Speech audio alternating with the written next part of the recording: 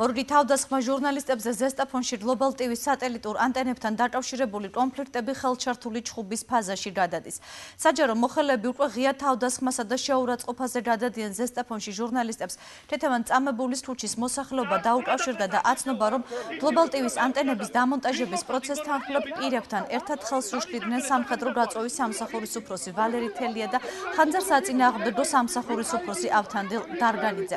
რამდენიმე წუთში შემთხვევის ადგილზე მისულ ჟურნალისტებს ისინი აგრესიულად შეხვდნენ. ვალერი თელიამ დანახვისთანავე სიტყვიერი შეურაცხყოფა მიაყენა. სარგენტო ინფოცხრის ჟურნალისტ და ოპერატორ შემდეგ ჟურნალისტებს მისი თანხმლები პირებიც დაესხნენ. თავს თელიამ ფიზიკური შეურაცხყოფა მიაყენა. ოპერატორს პაატა ჭყოიძეს თუმცა რამდენიმე წუთში მან ეს უარყო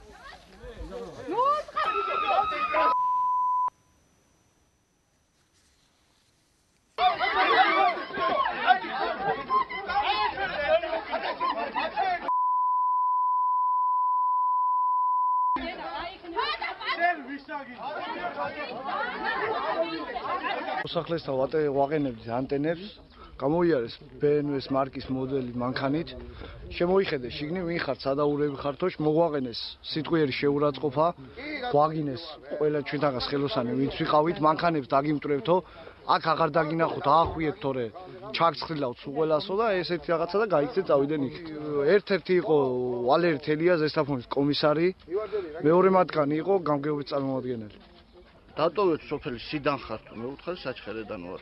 რა გინდა მე აქ რისთვის ხარ ჩამოთრეული? რა მე უთხარი ოჯახი მყავს სოშვილი უნდა ვარჩინოთ. ას ლარში უნდა გაყიდო შენი ოჯახიო შენი პუტინის გამოგზანილი დედა